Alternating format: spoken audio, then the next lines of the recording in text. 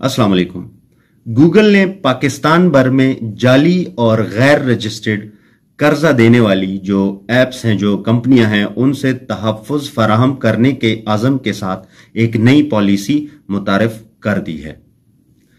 नई शराइ के तहत जो गैर बैंकारी फाइनेंस कंपनी है एन बी एफ़ सी को सिर्फ़ एक डिजिटल लैंडिंग ऐप जो है, वो शाया करने की इजाज़त होगी। अगर कोई भी कंपनी एक से ज़्यादा ऐप्स शाया करने की कोशिश करेगी तो इनके जो डेवलपर होंगे, उनके अकाउंट के साथ साथ इनके मुतल जितने भी अकाउंट्स होंगे, वो सारे डिलीट कर दिए जाएँगे, खत्म कर दिए जाएँगे।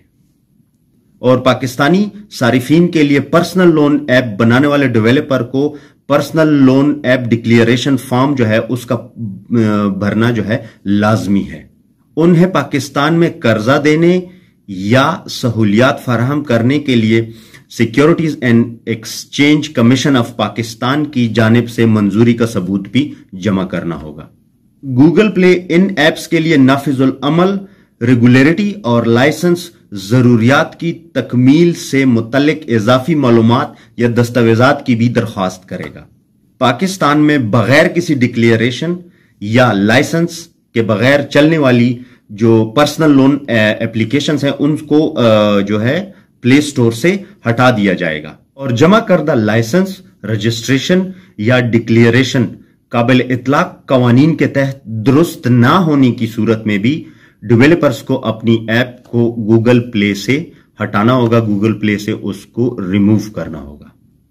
गूगल ये माली खतरात और जो आपकी डेटा प्राइवेसी है उसको यकीनी बनाने के लिए और उसको आ, उसके तहफ़ के लिए ये एहतियाती इकदाम जो है ये उठा रहा है। नए कानून के तहत जितनी भी लोन पर्सनल लोन एप्स हैं उनको सेंसिटिव डेटा मसलन आपका external storage internal storage media photos contact या लाइव लोकेशन जैसी मालूम जो है वहाँ तक इनकी रसाई नहीं होगी वहाँ तक ये जो है अप्रोच नहीं कर पाएँगे। और ऐसी एप्लीकेशन जिससे अगर आप लोन लेते हैं और आपको वो साठ दिन के अंदर जो है मुकम्मल अदायगी का तकाजा करते हैं तो इस तरह की एप्लीकेशंस की भी प्ले स्टोर में इजाज़त नहीं होगी। गूगल इस तरह के जो एप्लीकेशंस हैं, उनको भी प्ले स्टोर से हटा देगा।